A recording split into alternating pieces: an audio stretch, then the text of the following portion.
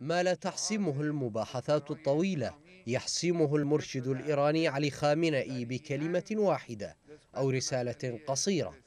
يبعثها مع أزلام نظامه إلى الكتل والأحزاب في العراق. بعد شد وجذب ومشاورات حول أزمة اختيار رئيس حكومة في العراق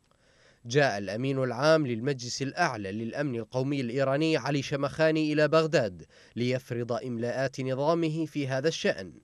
شمخاني الذي ورث مهمة قاسم سليماني في إدارة ملف العراق التقى رؤساء الكتل وزعماء الميليشيات وأبرز المرشحين لرئاسة الوزراء مثل مصطفى الكاظمي الذي يشغل حاليا منصب رئيس الاستخبارات.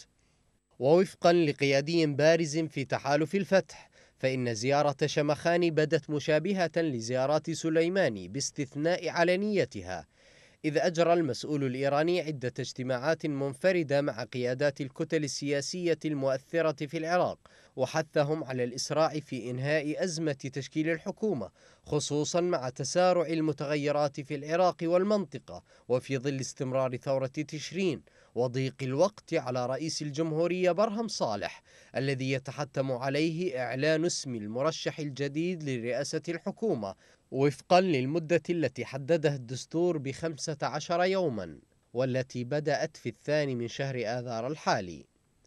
التغيرات الإقليمية والمحلية قد يكون لها دور في تعقيد ملف رئيس الحكومة أكثر